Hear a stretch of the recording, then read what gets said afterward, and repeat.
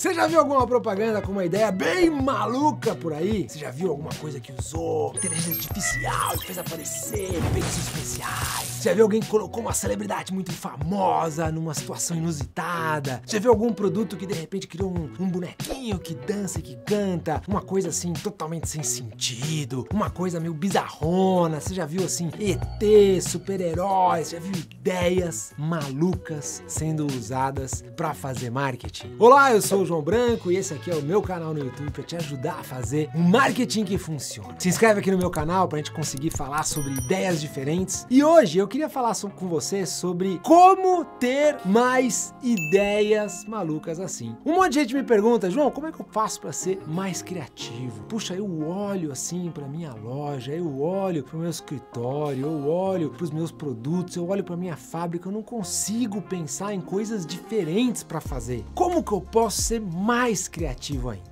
A verdade é que a maior parte dos profissionais de marketing do Brasil contrata gente para fazer esse trabalho. Você contrata uma agência, você contrata um profissional, você contrata um criativo para poder sair dessa caixa. Mas a criatividade, ela é muito útil para todos nós. Se você conseguir ser um pouco mais criativo no seu dia a dia, eu tenho certeza que você vai ter mais facilidade de achar soluções diferentes para seus problemas, de inventar produtos diferentes, de trazer propostas novas para os seus clientes de achar novas coisas que trazem benefícios para vocês. Como conseguir fazer isso? Tem um livro que eu gosto muito sobre isso que se chama Hobby como um artista. E uma das ideias que nesse livro ele defende é que a criatividade, na verdade, é diferente do que a gente fala por aí. Dificilmente ou talvez nunca vai acontecer de você ter um estalo genial e pensar uma coisa que jamais ninguém pensou. Não vai acontecer da gente estar tá lá tomando banho e de repente, ah, tive uma ideia! Vou fazer aqui essa música que ninguém nunca fez igual. Tive uma ideia! Vou aqui inventar esse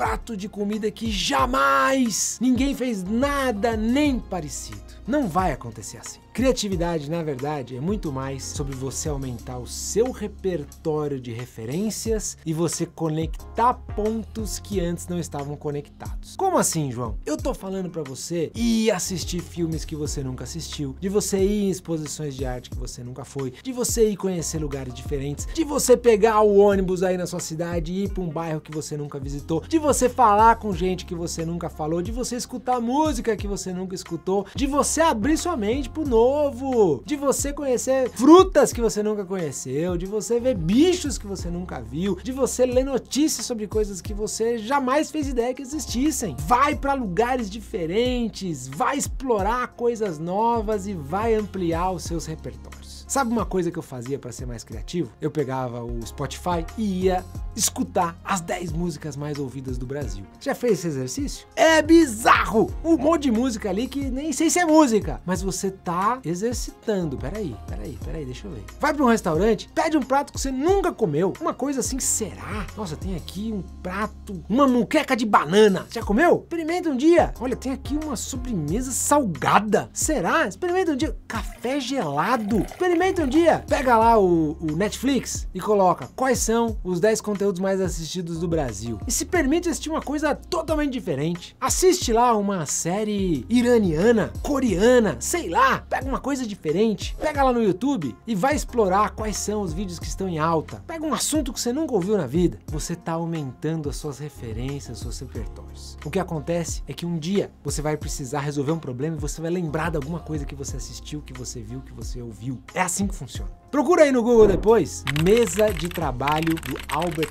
Einstein. Sabe o que vai sair? Uma imagem assim, ó.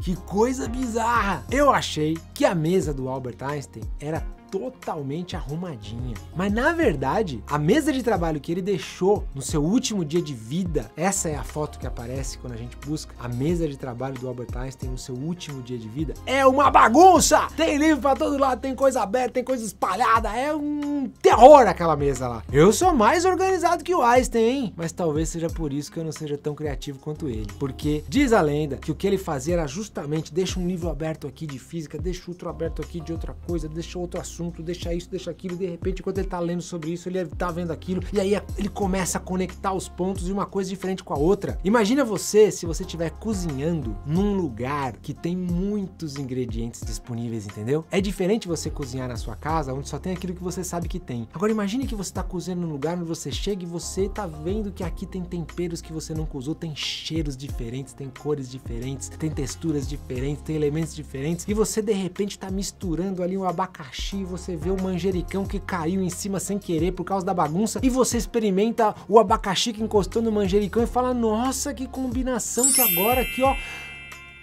fez foguinhos de artifício diferente na minha cabeça aqui com isso que eu misturei, que eu nunca tinha misturado. Isso é criatividade, gente. É você misturar pontos, conectar coisas. É muito legal quando você tem que inventar lá uma comunicação para sua marca e aí de repente você testa colocar um funk no fundo, você testa colocar uma música clássica no fundo, você testa colocar um rap no fundo e você vê que causa sensações totalmente diferentes. Peraí, deixa eu ver o que acontece aqui quando eu misturo. Nessa mistura é que você consegue surpreender, é que você consegue trazer um, um, um frescor, um cheiro novo, uma sensação nova em algo algo conhecido. Obviamente que a gente não gosta muito de ser totalmente surpreendido. A gente não gosta de ouvir uma música num ritmo assim que pra gente é totalmente diferente de tudo aquilo que a gente já ouviu. Então quando vem uma canção que tem trechos que parecem conhecidos, mas que de repente se surpreende com outra coisa, é aí que mora o lugar das coisas que viralizam, pegam, que entram mais no gosto das pessoas. Eu tenho certeza que ao você sair mais de casa, ao você se permitir mais ver coisas diferentes, você começa a ter mais sugestões, você começa a ter mais gosto para as coisas, você começa a ter mais ideias, você acabou de se tornar uma pessoa mais criativa. Criatividade não é você ter mais estalos mágicos que te fazem pensar numa coisa única, inédita, que jamais ninguém pensou igual, e é mais você conectar pontos de referências que já estão na sua cabeça. Na verdade, na verdade, a gente cria do zero muito a pouco. A gente adapta coisas, a gente junta coisas, a gente mistura, a gente faz um bem bolado. Isso é a maior parte da criatividade que a gente vê por aí. Espero que com isso você seja mais criativo. Me segue aqui no canal pra gente seguir falando sobre várias ideias que impactam o mundo do marketing, tá bom? Valeu, pessoal, um grande abraço, até a próxima.